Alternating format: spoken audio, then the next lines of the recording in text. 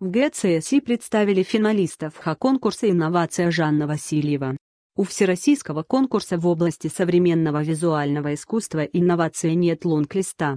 25 проектов, вышедшие в финал в пяти номинациях, по 5, в каждой. Это, считайте, и длинный, и короткий список сразу. И в отличие от прошлого года, когда выставка конкурсантов инноваций проходила на двух площадках, в ГЦС и арт-пространстве ЦУМа, в этом году все работы финалистов представлены в одном относительно небольшом зале ГЦС.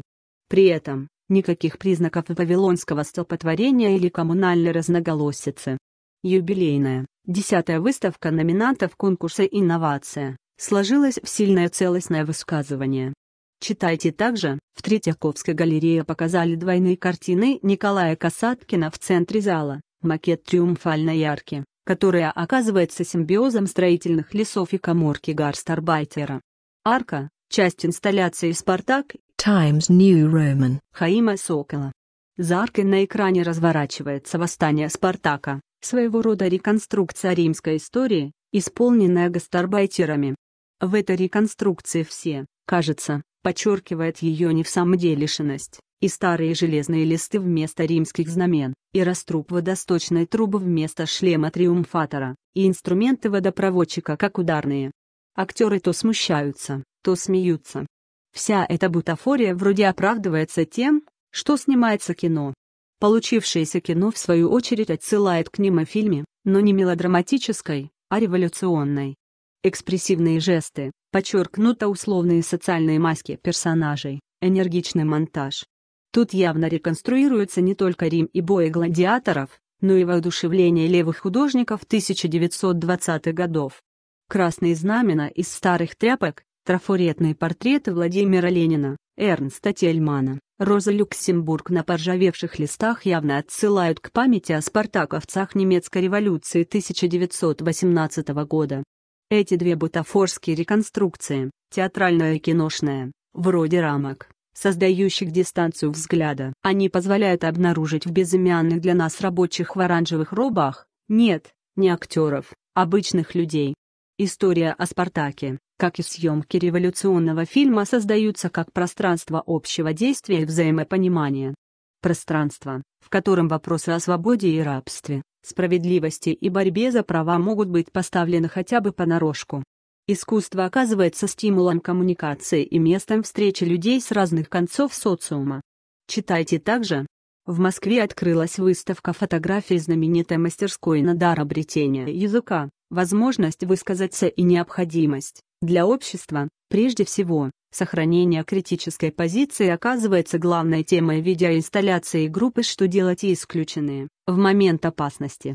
Если в прошлых своих работах группа во многом опиралась на театральную поэтику брехтовского театра, на диалог хора и голоса одинокого человека, то в нынешней – ставка на новую танцевальную пластику, заставляющую вспомнить театр Пины Бауш.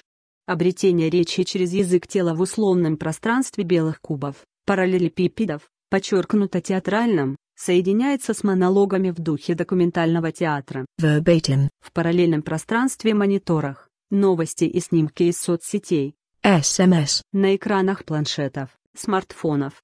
Впечатляет не только мастерское создание персонажей с четкими социальными историями, но и внятность авторской позиции. Вместо вопроса о героях ставится вопрос о неудачниках, забытых историей, и среди них оказывается не только народник Ипполит Мышкин, отправившийся на спасение из ссылки писателя Николая Чернышевского, но и академик Андрей Сахаров, отправленный в ссылку после того, как выступил против ввода советских войск в Афганистан. Актуальная тематика при этом не превращается в чистую публицистику. Зрителям, как и персонажам, предлагается самим найти свои точки отсчета, чтобы определиться с координатами во времени и пространстве, истории и космосе. Вообще, театральная эстетика оказывается очень значимой для проектов нынешней инновации. По крайней мере, в номинации «Произведения визуального искусства». Инсталляция Ирины Карины Припев.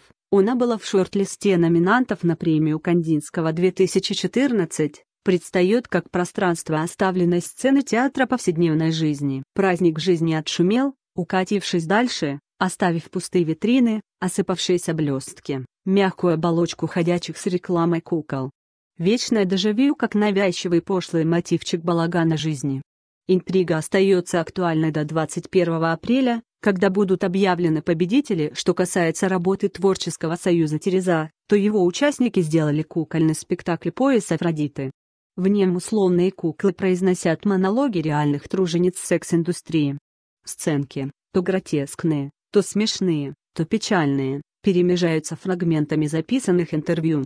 Эстетика площадного театра соединяется с документальным видео и абстракцией бумажных кукол. Но меньше всего это коллаж в дадаистском духе. Введение в зону видимости и исключенных по умолчанию маргиналов социума – довольно давняя традиция современного искусства. Но у нас она, пожалуй, в новинку. Читайте также, в фонде Екатерины открылся департамент Орлов Андрея Филиппова лишь изысканная работа 1,4. 19 объединения «Куда бегут собаки» вместо дистанции театральной условности предлагают зрителю объективный взгляд ученого на опыт с бегающей по лабиринту мышкой. Выходов тем меньше, чем больше упущенных возможностей. Возможности представлены виртуальными мышками, которых мы видим на экране над реальным лабиринтом. Эти же двойники запирают выходы. И чем энергичнее белая мышка бегает, тем вернее оказывается запертой в тупике. И тут-то перед ней открывается отличная возможность заново обдумать жить и бытие. Словом, мышка живет в мире, да более похожий на человечий. Любопытно, что фактически те же темы – наблюдения, разрыва в социальной коммуникации, поиск нового языка для того, чтобы быть услышанными, появляются в работах в номинации «Новая генерация». Среди претендентов на премию – спектакль «Смерть Тарелкина», в котором пьеса Сухова-Кобылина становится основой для рассказа об Эдварде Сноудине, фильмы Евгения Гладильщикова, видеопраздник Полины Канис, инсталляция «Зелень. Внешняя лаборатория городской фауны» и проект Леры Лернер «Город перемещенных лиц». При этом абсолютно новых имен тут немного. Евгений Гранильщиков и Полина Канис были призерами премии Кандинского в номинации «Молодой художник». Канис, 2011 году, Гранильщиков, в 2013. Unfinished Project. Гранильщикова сделан в почти той же стилистике кино без кино, рассказа без рассказа, комментария без комментария, что и его фильм «Позиции». Главное в фильме остается за кадрами за монтажными стыками. Но не потому, что речь о невыразимом, не для того, чтобы крепче сделать повествование, а для того, чтобы создать саспенс фигуру умолчания. Прием, популярный в авторском кино 1970-1980-х, востребован вновь. Как и тогда, он рассчитан на взаимопонимание со зрителем-современником, который в курсе событий. Что касается визуальных эффектов в кадре, то они складываются в тщательно продуманный ритмический рисунок. Читайте также, в ГМИ представили обновленную экспозицию западного искусства среди открытий нынешнего конкурса. Лаборатория городской фауны с инсталляцией «Зелень внешняя» впервые была показана в павильоне «Зерно» на ВДНХ, и Лера Лернер, которая собирает необычных городских персонажей, работающих волшебниками. Кто-то штопает вязанием прорехи железных ограждений, кто-то поет в метро, для усопших. Кто-то расписывает лаком рюкзак. Лера создает галереи фото и видеопортретов чудаков большого города, открывая в их странных акциях поэтический потенциал.